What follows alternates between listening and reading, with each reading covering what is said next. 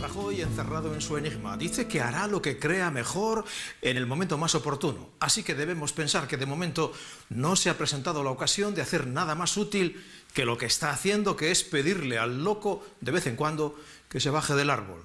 En el frenopático nacional, Carlas hace tiempo que se encaramó a lo más alto del Alcornoque y de ahí no hay quien le baje.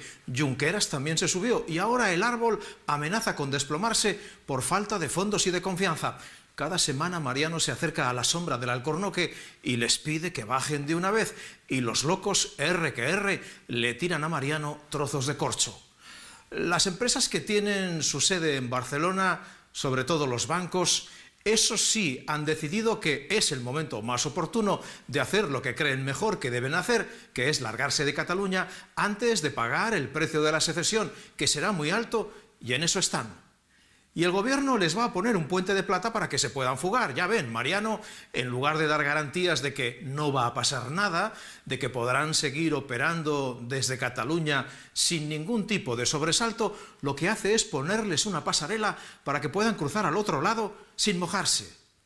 Mariano está en la operación Dunkerque, sacar de Cataluña a las empresas porque eh, lo de Mariano es solo la economía, hasta la Real Academia Española le ha pedido al gobierno que defienda la Constitución del 78, la RAE, que está solo para las cosas de la lengua y que lógicamente está alarmada porque en este tiempo la parte que más se maneja del diccionario es la del insulto, la injuria y la blasfemia.